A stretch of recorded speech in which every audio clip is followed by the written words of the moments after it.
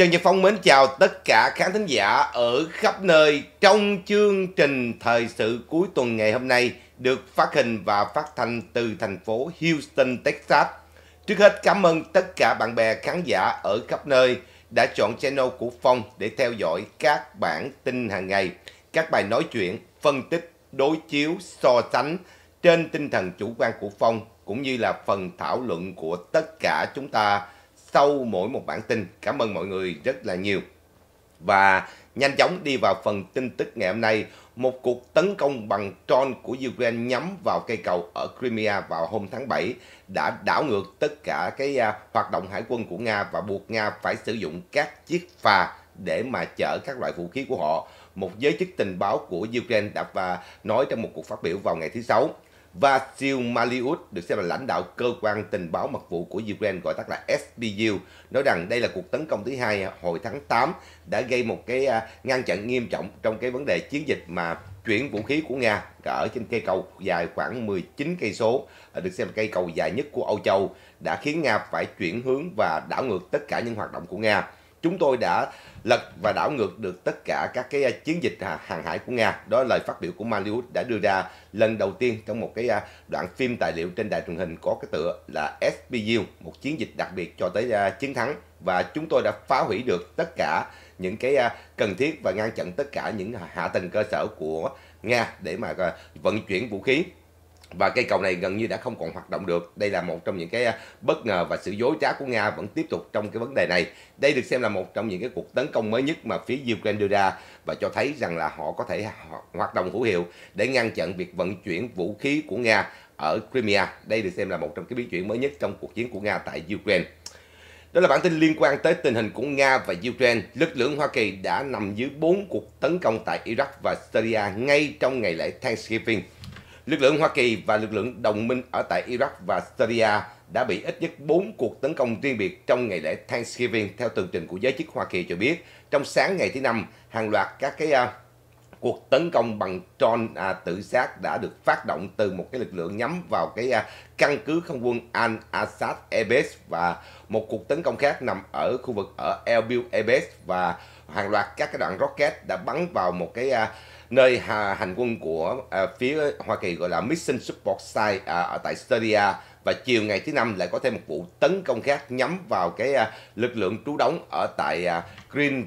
Village ở tại Syria. Cả bốn cuộc tấn công này diễn ra à, bắt đầu từ chiều từ à, tối ngày thứ tư sau khi mà họ tấn công vào một cái à, căn cứ không quân tại Apple theo tường trình của giới chức cho biết và không có một cái hạ tầng cơ sở nào bị hư theo tường trình sau khi có các cuộc tấn công và gần như đã có ít nhất là 73 cuộc tấn công nhắm vào lực lượng Hoa Kỳ và đồng minh kể từ ngày 17 tây tháng 10 tiếp theo việc mà Hoa Kỳ đã mở các cuộc không tập vào hôm thứ ba và tòa sáng thứ tư à, nhắm vào hai cái cơ sở do nhóm Hezbollah Kataib được Iran hỗ trợ tại Iraq. Trung tâm chỉ huy Hoa Kỳ tại đây cho biết các cuộc không tập này là một phản ứng trực tiếp của Hoa Kỳ nhắm vào những nơi những kẻ đã tấn công vào lực lượng Hoa Kỳ và đồng minh à, bởi các lực lượng à, dân quân do Iran à, hỗ trợ. Và trong đó à, diễn ra vào ngày 21 tây tháng 11 theo tường trình cho biết và họ đã sử dụng các cái loại gọi là hỏa tiễn đạn đạo tầm ngắn. Và giới chức quốc phòng nói thêm rằng các nơi này đã có sự an toàn và không bị thiệt hại nhiều sau cuộc tấn công của nhóm Hồi giáo có tên là Kataib Hezbollah, trong đó gần như là họ đã tìm đủ mọi cách để tấn công vào các vị trí Hoa Kỳ. Ít nhất là có 8 dân quân của Hezbollah đã bị thiệt mạng trong ít nhất là à, các cuộc tấn công không tập của Hoa Kỳ và bốn người khác đã bị thương theo tường trình cho biết. Và giữa lúc các cuộc tấn công diễn ra, lần đầu tiên nhắm vào các lực lượng của Hoa Kỳ và đồng minh đã bắt đầu từ hôm 17 tây tháng 10 sau khi mà lực lượng cách mạng Hồi giáo Iran đã bắt đầu thúc đẩy các nhóm dân quân này tấn công vào các vị trí của Hoa Kỳ và trong cái cuộc không tập vào ngày 26 tây tháng 10 F-15 và hai chiếc F-16 Hoa Kỳ đã nhắm vào một cái kho chứa vũ khí và đạn dược ở tại à, Abu Kaman ở Syria. Ngày 8 tháng 11 thì có hai chiếc F-15 đã mở cuộc không tập vào một cái kho chứa vũ khí ở phía đông Syria. Ngày 12 tây tháng 11 thì à, lực lượng Hoa Kỳ là có thêm các cuộc không tập nhắm vào một cái trung tâm huấn luyện và một cái à, à, khu vực được xem là xào huyệt ẩn trốn an toàn của nhóm dân quân này được sự hỗ trợ của nhà nước Hồi giáo Iran. Đó là bản tin liên quan tới tình hình của quốc tế ngày hôm nay. Và cũng liên quan tới tình hình quốc tế ngày hôm nay, Hamas sẽ cho trả tự do thêm 14 con tin Do Thái và Do Thái cũng sẽ trả tự do cho 42 con à, à, tù nhân của Palestine trong cuộc trao đổi ngày thứ Bảy. Bản tin từ Khan Yunis cho biết thì Hamas sẽ trả tự do thêm cho 14 con tin Do Thái để đổi lại Do Thái trả tự do cho 42 à, tù nhân Palestine trong ngày thứ Bảy là một phần trong cái à, thỏa thuận ngừng bắn kéo dài 4 ngày theo tường trình một giới chức cao cấp của Ai Cập cho biết. Giới chức này đã yêu cầu giấu tên và nói rằng à, bởi vì ông không được phép chi tiết tất cả những gì diễn ra trong cuộc đàm phán và nói rằng trung gian của Ai Cập và Qatar đã cho Do Thái một cái danh sách dài các con tin đã bị bắt giữ bởi Hamas và một viên chức thứ hai cho biết rằng là à, đây là một trong những cái chi tiết mà họ có thể tiết lộ được và việc à, trao trả con tin và tù nhân này diễn ra lần đầu tiên hôm thứ Sáu, 24 con tin trong tổng số 240 con tin đã bị bắt giữ từ ngày 7 tây tháng 10 và Do Thái đã trả tự do lại cho ít nhất 39 người Palestine từ nhà tù của họ. Đây được xem là một trong những cái uh, chi tiết mới nhất và diễn ra ngày hôm nay và có thể sẽ có thêm một số con tin Do Thái được trả tự do để đổi lại một số tù nhân Palestine đã bị giam giữ trong nhà tù của Do Thái. Đó là bản tin liên quan tới tình hình của quốc tế ngày hôm nay. Và cũng liên quan tới vụ trao trả con tin này, Joe Biden tin rằng là sẽ có con tin à, Hoa Kỳ được trả tự do bởi Hamas. Ông Tổng thống Joe Biden trong ngày thứ Sáu nói rằng ông chưa chắc chắn là con tin Hoa Kỳ sẽ do do nhóm khủng bố Hamas bắt giữ sẽ được trả tự do sau khi mà có cái thỏa thuận với phía Do Thái. Chúng tôi không biết và chúng tôi đang à, hy vọng là sẽ đạt được cái à, điểm này. Đó là lời phát biểu của ông ta đưa ra sau khi mà có cái cuộc trao trả tự do cho các con tin. Chúng tôi không biết cái danh sách của các con tin và khi nào mà họ sẽ trả tự do và chúng tôi không biết được số lượng khi nào thì được trả tự do và tôi hy vọng rằng tôi à, nó sẽ diễn ra sớm hơn. Đây là lời phát biểu của ông Joe Biden đưa ra. Thêm vào đó thì ông ta cho biết là cuộc tấn công ngày 7 tây tháng 10 của Hamas đã à, dẫn tới cái nỗ lực về ngoại giao của ông ta tại Trung Đông để à, gia tăng việc thừa nhận quốc gia của Do Thái. Tôi không thể à, chứng minh những gì mà tôi đang nói. Tuy nhiên, tôi tin rằng những lý do mà tại sao Hamas đã tấn công và tôi đang làm việc với Saudi Arabia và nhiều quốc gia khác ở khu vực để mang tới hồ hòa bình và sự thừa nhận đất nước Do Thái và quyền lợi của người Do Thái. Đây được xem là lời phát biểu của ông Joe Biden đưa ra ngay sau khi mà có cuộc trao trả tự do giữa à, con tin của à, Do Thái và những tù nhân của người Palestine và ông Joe Biden cho biết là ông sẽ tìm mọi cách để mà gia hạn thêm cái à, lệnh ngừng bắn kéo dài 4 ngày sau khi mà Do Thái đã mở cuộc tấn công trả đũa vào giải Gaza. Đó là bản tin liên quan tới tình hình của Trung Đông ngày hôm nay. Cùng lực trong ngày hôm nay, Chủ tịch Ủy ban Tình báo tại Hạ viện lên tiếng cho biết là đe dọa khủng bố mà Hoa Kỳ đối diện là cao nhất trong vòng một thập niên qua. Bản tin mới nhất cho biết Hoa Kỳ đang đối diện với cái số lượng đe dọa khủng bố cao nhất trong vòng một thập niên qua giữa lúc mà chính quyền cho bên đã thiếu hụt tất cả những cái chính sách để giải quyết vấn đề này. Đó là lời báo cáo của dân biểu Mike Turner, Giám đốc cơ quan điều hành FBI là ông Christopher Wray gần đây đã ra điều trần trước Quốc hội ở trong cái uh, vấn đề liên quan tới khủng bố ngoại quốc đã có chiều hướng kêu gọi cuộc tấn công vào Hoa Kỳ. Và phát biểu trong cuộc điều trần này thì ông Turner cho biết trong cuộc phỏng vấn mới nhất là ông ta sẵn sàng à, cho biết rằng là có sự gia tăng đe dọa khủng bố tại Hoa Kỳ ngay trong nội địa của Hoa Kỳ và nó cao hơn bao giờ hết. Ông Turner hiện nay là chủ tịch của Ủy ban tình báo tại Hạ viện chỉ ra cho thấy có những điều rất bất thường mà giám đốc FBI đã à, cho công chúng thấy được tất cả những cái à, hoạt động với lại ủy ban à, của cơ quan tình báo. Và trong đó họ đang công bố một số những cái hướng đi để có thể à, giảm đi tất cả những cái cuộc đe dọa này và tất cả những thành phố hỗn loạn sau cuộc rút quân của Afghanistan. Và chúng ta đã mất đi tất cả những thông tin tình báo tại đây. Và ông chỉ ra cho thấy biên giới phía nam những cá nhân à,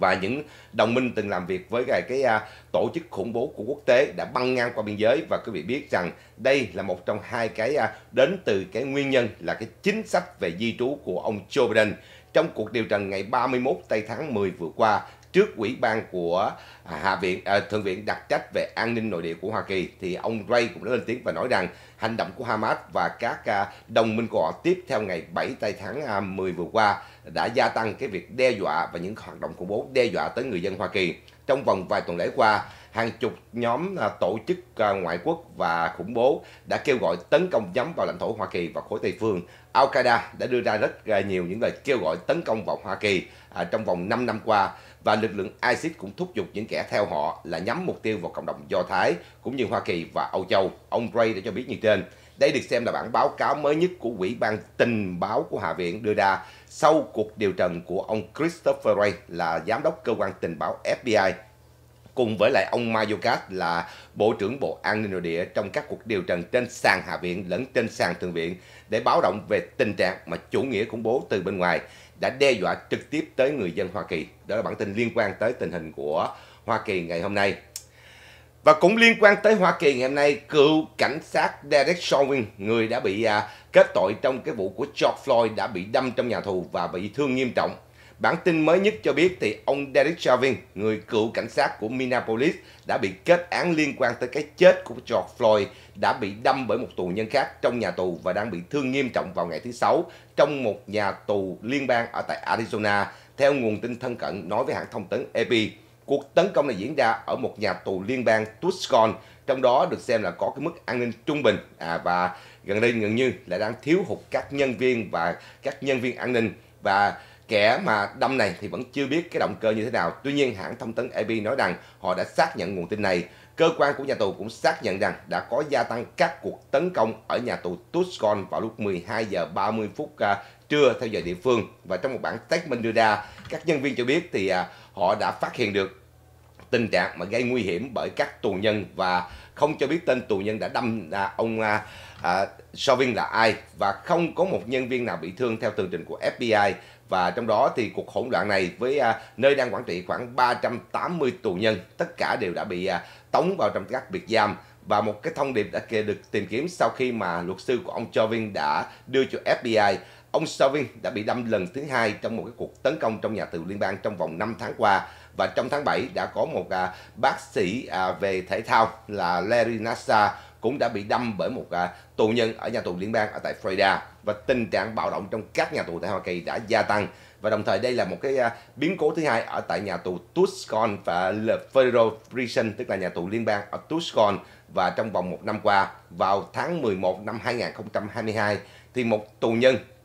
với cái mức à, an ninh thấp đã rút ra một khẩu súng và bắn một cái người à, viếng thăm ngôi tù, ở nhà tù này ở vào đầu. Và vũ khí này là, là và đáng lý là các tù nhân không có. Tuy nhiên thì à, họ đã tìm cách gọi là ngăn chặn tù nhân này. Ông Chauvin 47 tuổi đang à, nằm ở trong nhà tù được xem là có cái mức an ninh cao nhất ở Minnesota vào tháng 8 năm 2022 và ông bị à, kết án 21 năm tù liên quan tới vi phạm cái quyền dân sự của George Floyd và 22 năm rưỡi rưỡi tù trong cái cái tội gọi là sát nhân cấp 2. Đây được xem là một trong những uh, nhân vật được gây chủ chốt và trở thành một nhân vật gọi là tâm điểm của cái, cái phong trào Black Lives Matter mà Black Lives Matter đã tổ chức các cuộc biểu tình trên toàn quốc và bạo động cướp phá sau khi mà có liên quan tới cái chết của George Floyd. Đó là bản tin liên quan tới tình hình của Hoa Kỳ ngày hôm nay. Và cũng liên quan tới Hoa Kỳ ngày hôm nay, một quỹ ban trên sàn Thượng viện đã điều tra về các công ty hàng không Hoa Kỳ đã tính lệ phí trong cái ghế ngồi và cái à, các cái hành lý gửi của khách hàng. Một quỹ ban tại Thượng viện trong ngày thứ hai loan báo là họ sẽ mở cuộc điều tra vào các công ty hàng không đã tính lệ phí vào các cái uh, túi sách tay hoặc là hàng gửi của và kể cả chọn ghế ngồi cũng như là thay đổi về cái uh, vé và, và cũng như một số những phục vụ khác sau khi mà có báo cáo từ ở các cái uh, người khách hàng và ít nhất là có 5 công ty airlines sẽ bị điều tra. À, theo tường trình cho biết thì à, thượng nghị sĩ Richard Blumenthal, người là chủ tịch của một cái tiểu ủy ban đặc trách về cuộc điều tra này nói rằng các lệ phí trên đã mang lại hàng tỷ Mỹ Kim lợi nhuận cho các công ty hàng không và luôn à, che giấu khách hàng khi mà khách hàng mua vé. Và ông Blumenthal cho biết là lãnh đạo của các công ty gồm có American Airlines, United Airlines, Delta Airlines, Spirit Airlines, Frontier Airlines à, hầu như đã nhận được lá thư à, và phải à, yêu cầu cung cấp tất cả những chi tiết mà các công ty của họ đã tìm cách thu thêm lệ phí của khách hàng từ cái à, lệ phí chọn ghế ngồi cho tới việc mà ký gửi hành lý hoặc là hành hành lý sách tay lên máy bay. Đây được xem là cuộc điều tra mới nhất của ủy ban ở tại thượng viện sau khi có báo cáo và khiếu nại của rất nhiều à, những người dân cho rằng các công ty à, hàng không đã cố tình tính lệ phí khá nhiều, hầu như là 40% từ năm 2018 cho tới năm 2022 và họ có mức lợi nhuận từ 4.9 tỷ Mỹ Kim lên tới 6.8 tỷ Mỹ Kim và ông Blumenthal cho biết rằng là việc này đã ảnh hưởng tới rất nhiều những người dân Hoa Kỳ và họ đã tìm cách tính thêm lệ phí khi mà khách hàng chọn máy bay. American Airlines, Delta Airlines và United Airlines đã lên tiếng trả lời cái câu hỏi của Thượng viện trong việc điều tra về tất cả các hãng hàng không của Hoa Kỳ. Trong đó thì à, riêng à, năm 2018 18 thì các tổng giám đốc này đã tìm cách vận động với lại một cái đạo chống lại cái đạo đạo luật của lưỡng đảng trong đó yêu cầu họ phải à, rõ ràng trong vấn đề à, chi phí và à, chặt lệ phí đối với lại các khách hàng. Đây được xem là một trong những cuộc điều tra mới nhất của thượng viện diễn ra giữa lúc mà Hoa Kỳ đang bước vào một cái mùa lễ cuối năm và tình trạng di chuyển bằng máy bay trở nên bận rộn hơn. Đó là bản tin liên quan tới tình hình của Hoa Kỳ ngày hôm nay.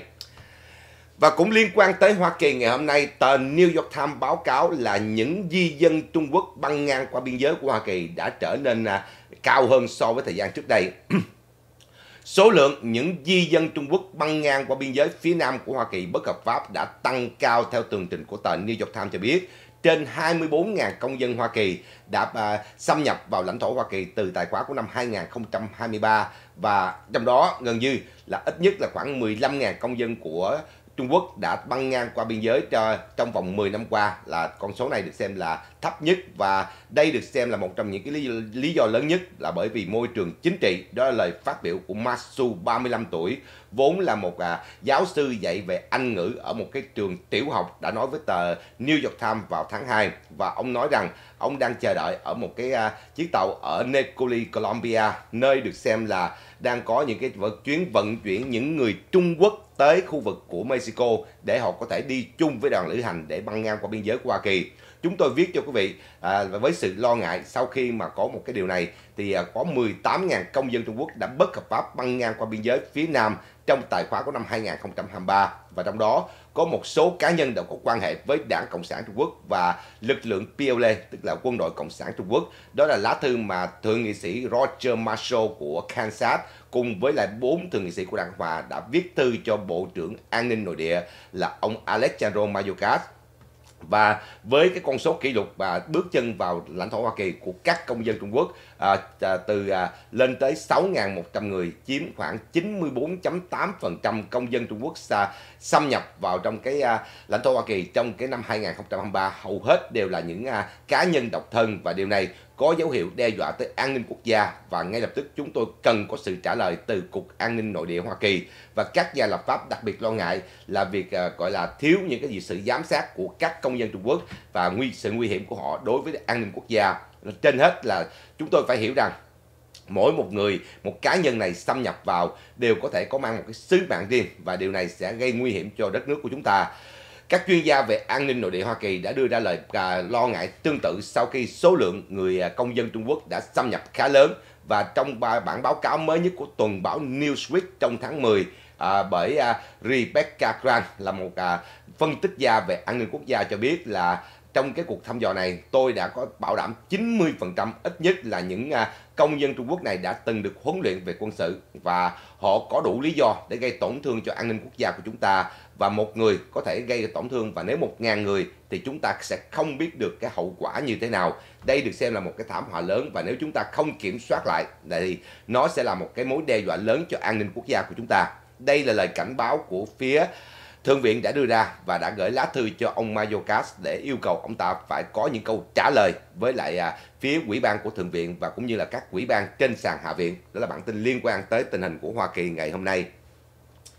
Và được xem là bản tin thời sự hàng đầu trong channel của Trần Nhật Phong ngày hôm nay sau khi mà Philippines cùng với Hoa Kỳ có cuộc tuần tra trên mặt biển trong tuần qua thì bây giờ tới phiên Úc và Philippines cũng hợp tác tuần tra trên Biển Đông. Bản tin từ Manila cho biết thì Úc và Philippines đã bắt đầu cái cuộc tuần tra chung đầu tiên của họ trên Biển Đông vào hôm nay thứ Bảy. Vài ngày sau khi mà Manila đã có một cái hành động tương tự như vậy với lực lượng của Hoa Kỳ ở tại khu vực ở phía bắc của Philippines. Cuộc à, tuần tra 3 ngày này được loan báo bởi Tổng thống của Philippines là ông Ferdinand Marcos Jr. trên mạng xã hội tiếp theo sau việc mà Philippines đã có cuộc thảo luận với lại phía Úc trong đầu năm nay là sẽ cùng nhau tham gia việc tuần tra trên Biển Đông và cam kết rằng họ sẽ có những cái à, phối hợp về vấn đề quân sự. Trung Quốc đã có những cái hành động đe dọa tới khu vực này sau khi mà họ có những căng thẳng với Philippines trên bãi cạn gọi là Second Thomas Show và khu vực quần đảo Trường Sa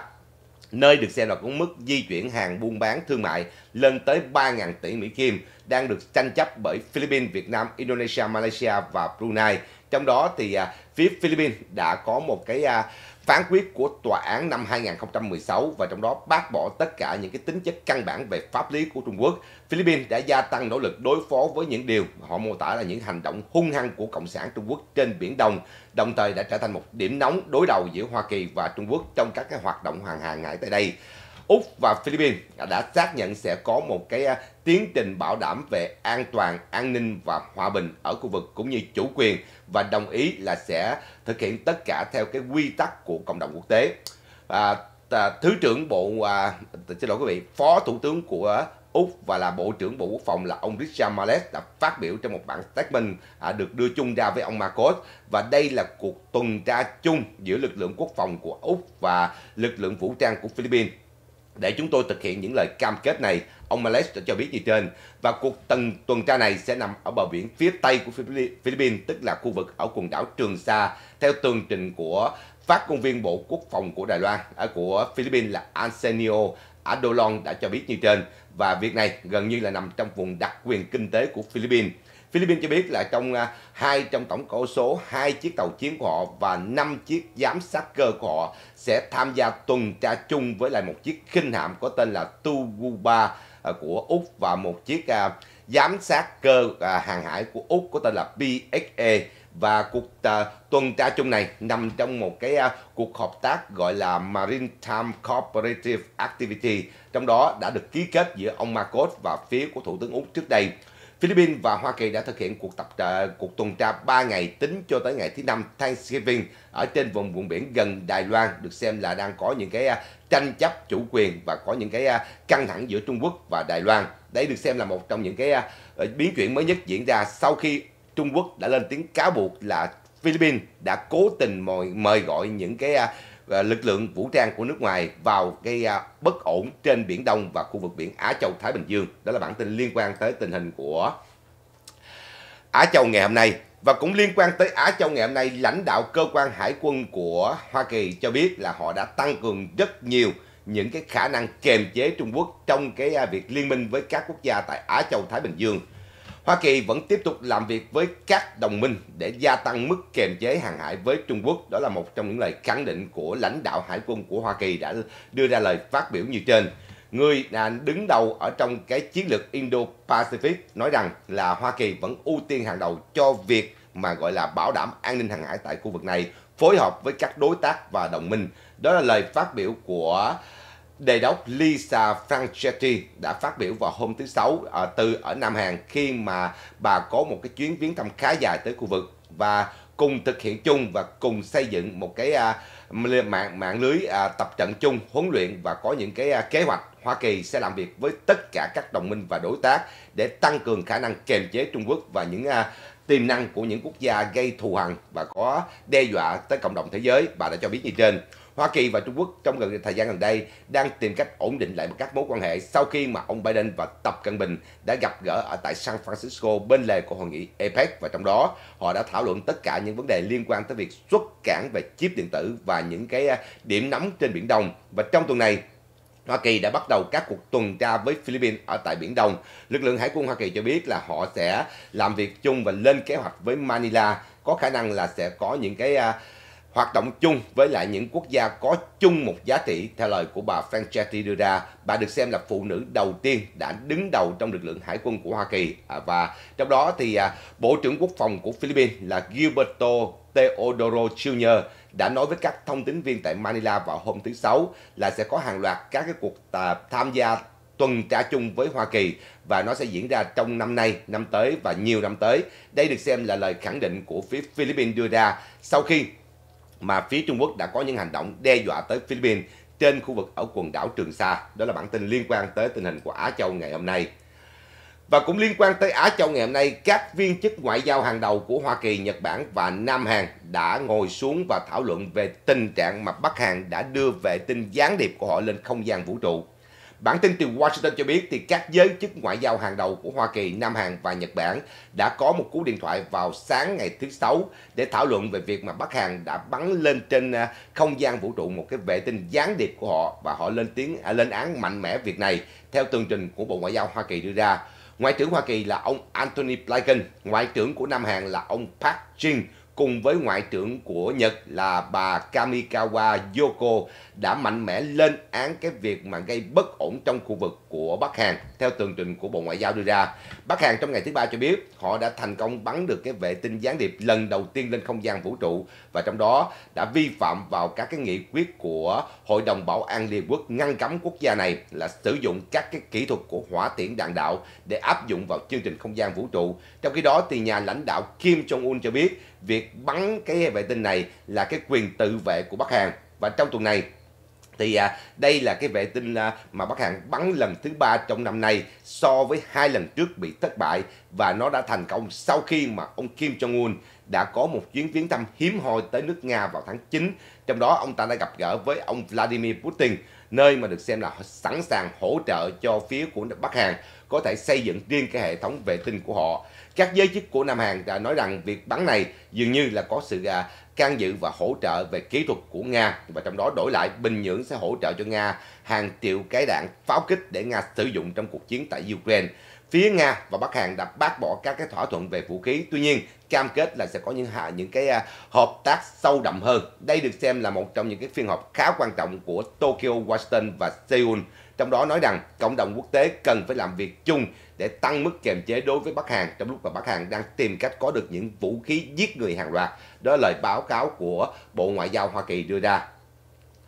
Cùng một lượt thì trong ngày hôm nay, lực lượng quân sự của Trung Quốc đã có một cái cuộc tập trận huấn luyện gần ở biên giới Miến Điện sau khi một đoàn xe của họ đã bị bắn cháy ở tại đây. Bản tin từ Thượng Hải cho biết thì lực lượng quân sự của Cộng sản Trung Quốc đã có một cái cuộc huấn luyện tác chiến vào ngày thứ Bảy ở sát biên giới của Miến Điện, nơi mà trong mấy ngày qua đã có một đoàn xe truck của chở mặt hàng của Trung Quốc đã bị bắn cháy ở quốc gia vùng Nam Á này. À, biến cố trên diễn ra giữa lúc mà các giới truyền thông của Miến Điện đã kêu gọi đây là cuộc tấn công nhắm vào các à, nhóm phiến quân hoạt động ở biên giới và đang gây lo ngại cho Trung Quốc và tổng cộng có tới 120 chiếc xe truck chở hàng đã bị bốc cháy sau khi có cuộc tấn công của lực lượng à, gọi là quân Việt Miến Điện và cuộc à, tập trận huấn luyện này là gia tăng cái khả năng bảo vệ biên giới và đối phó với tất cả những cái đe dọa từ bên ngoài. Đó là một trong những cái thông báo của Bộ Chỉ huy miền Nam Trung Quốc đã đưa ra. Trong đó có ít nhất là 5 đơn vị của lực lượng PLA sẽ tham gia vào trong cái cuộc tập trận này đây là cuộc tập trận được mô tả là để bảo vệ biên giới cho Trung Quốc giữa lúc mà đang có tình hình biến động ở tại Miến Điện. Đó là bản tin liên quan tới tình hình của Á Châu ngày hôm nay. Và cũng liên quan tới Á Châu ngày hôm nay, Tổng thống Philippines ông Marcos đã bác bỏ cuộc điều tra của Tòa án quốc tế nhắm vào ông Duterte trong cái cuộc chiến chống ma túy trước đây. Tổng thống Philippines ông Ferdinand Marcos Jr. đã bác bỏ việc mà cho phép một tòa án quốc tế điều tra về ông Duterte trong cái cuộc chiến chống ma túy trước đây và trong đó đã gây hại cho rất nhiều những thường dân vô tội theo lời cáo buộc của các tổ chức nhân quyền. Đây không phải là cái điều mà chúng tôi để cho người ngoài à, theo giờ nói với chúng tôi là phải điều tra. Những cảnh sát đã bắt giữ hay là những cái vụ bắt bắt giữ này, ông Marcos đã nói với các thông tin viên vào ngày thứ sáu và ông nói rằng ông sẽ ngăn cản tất cả những cái cuộc điều tra nào của tòa án quốc tế ICC nhắm vào cái chiến dịch chống ma túy của ông Duterte, trong đó đã khiến cho hàng ngàn người vô tội đã bị thiệt mạng. Trước đó đầu tuần này thì à, ông Marcos cho biết là có thể sẽ có một cái liên minh mà trong đó giúp cho ông ta và phó tổng thống của Philippines là bà Sara Duterte, con gái của ông Duterte trong cái việc mà đối phó với cuộc à, điều tra của tòa án ICC. Trước đây thì ông à, Ferdinand Marcos Jr. là cảnh sát trưởng của Manila và ông ta là người đứng đầu trong cái chiến dịch chống ma túy theo lệnh của ông Duterte. À, lúc đó ông Duterte đã đưa ra cái chiến dịch chống ma túy và cho phép bắn người một cách vô tội vạ, không cần giấy của tòa án. Và chiến dịch này đã dẫn tới hàng ngàn người Philippines đã bị chết một cách vô tội và trong đó thì à, sau đó thì ông Ferdinand Marcos Jr. đắc cử vào chức thượng nghị sĩ của Quốc hội Philippines trước khi mà ông ta đắc cử vào ghế tổng thống và việc này đã dẫn tới Hoa Kỳ từng ban lệnh cấm vận đối với lại ông Ferdinand Marcos Jr về vai trò của ông ta trong việc cuộc ờ, trong cái cuộc chiến chống ma túy dưới lệnh của ông Duterte. Đó là bản tin liên quan tới tình hình của Philippines ngày hôm nay. Và cuối cùng cũng liên quan tới Á Châu ngày hôm nay, Trung Quốc đã tìm cách à, xâm nhập vào các công ty sản xuất chip của điện tử của Đài Loan sau khi mà họ xâm nhập vào à, một cái công ty ở bên Hòa Lan. Hàng loạt các cuộc điều tra về không gian mạng đã đưa ra kết luận tại Hòa Lan, trong đó công bố cho thấy là các hacker của Trung Quốc đã có một chiến dịch đánh cắp các cái sản phẩm trí tuệ của ít nhất là 7 công ty sản xuất về chip điện tử của Đài Loan trong nhiều năm qua. Trong một bản báo cáo được à, công bố vào ngày 24 tây tháng 11 bởi một cái à, tờ báo tại Hòa Lan, trong đó có tên gọi là NRC đã chi tiết hàng nhiều năm các hacker và những cái chiến dịch của Trung Quốc có cái tên được biết với lại Chimera à, đã nhắm mục tiêu vào công công ty sản xuất chip của Hòa Lan có tên là NXP và công ty này cho biết họ đã phát hiện rất nhiều những cái công ty khác gồm có những công ty của Đài Loan điều hành và công ty của Hòa Lan đã bị các hacker và cái chiến dịch gọi là Chimera của Trung Quốc xâm nhập và đánh cắp các sản phẩm trí tuệ. Đây là bản báo cáo đầu tiên từ phía của Hòa Lan phối hợp với lại lực lượng an ninh của Đài Loan mở cuộc điều tra về những tội ác không gian mạng và trong đó phát hiện ra là những hacker từ Trung Quốc đã cố tình xâm nhập vào các công ty sản xuất chip điện tử của Đài Loan, ít nhất là 7 công ty cùng với một số công ty của Hòa Lan để đánh cắp các cái sản phẩm trí tuệ và phá hoại các cái dữ liệu trong các cái server của họ. Đây được xem là bản báo cáo sơ khởi đầu tiên trong sự phối hợp của lực lượng công lực của Hòa Lan phối hợp với lại lực lượng công lực của Đài Loan đã phát hiện như trên. Đó là bản tin liên quan tới tình hình Á Châu Thái Bình Dương ngày hôm nay.